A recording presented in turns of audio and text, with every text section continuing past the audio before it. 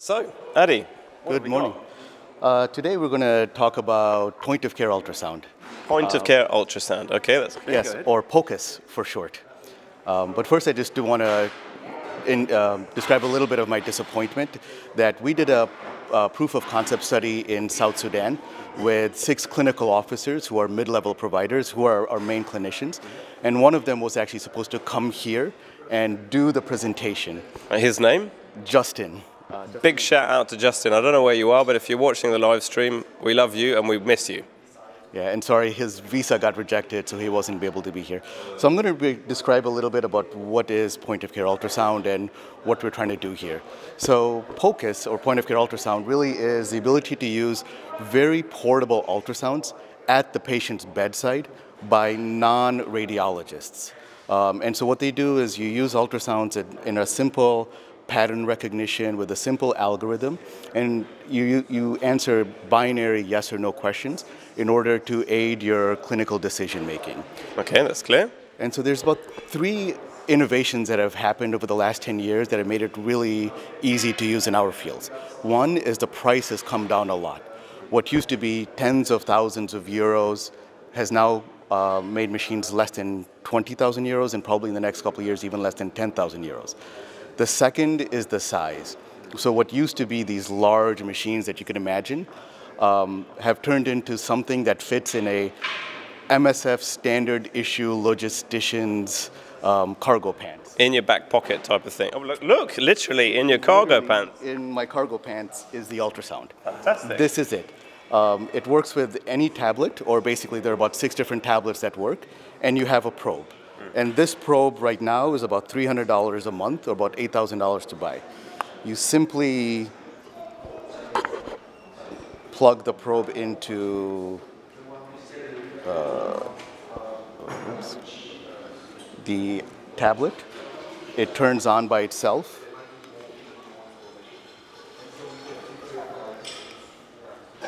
Maddie, do you want to come around and you can have a quick look at what's going on here? and you have an ultrasound. And what we do is, um, this is Eddie, who's an excellent emergency physician from Canada, who's our demo. Let's pretend you're ill, Eddie. We did this. Uh, Having a baby. we did this proof of concept with children less than five years old in South Sudan. Um, we don't have a child here, but You've chosen the biggest man in the building to demonstrate on.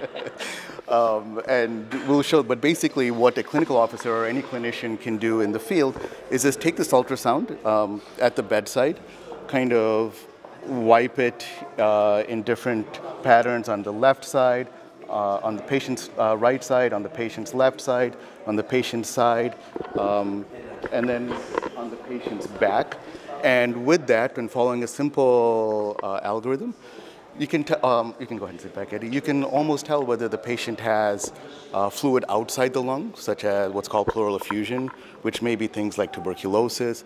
You can think about uh, pneumonias, whether they have fluid inside the lung caused by sepsis or by heart failure. And you can get a lot of information right at the bedside.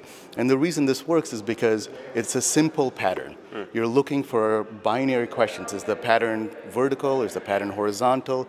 Um, and we're able to teach this to non-radiologists. And what that means is that not only can we teach multiple doctors, but we can task shift this and allow a lot of our mid-level providers, midwives, our uh, uh, other national staff to be able to answer pretty impressive clinical questions.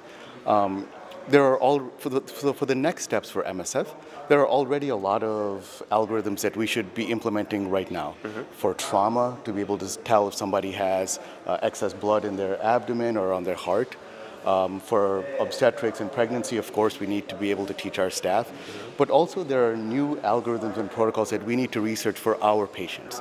A lot of the algorithms have already been done in the developed world where there's lots of specializations. And our fields, we know that there's diseases like malaria and tuberculosis and uh, HIV and malnutrition that are not at all the same. And we need to come up with new protocols to be able to help uh, these patients. Okay, that's fantastic. So How far are you in the development of this? It's been field tested, you say, already? And uh, Absolutely. Um, over the last year, I've used it myself. I spent nine months in South Sudan, and I used it almost every day. Um, and in fact, we did a, a, research study as a proof of concept can we teach clinical officers, which are these mid-level providers? They each did 60 exams each, and those 60 exams were sent to two expert reviewers. We finished in March, and the expert reviewers are still finishing, um, reading all, uh, all the exams. One of them is already finished, and the concordance rate between him and the clinical officers is approaching 90%.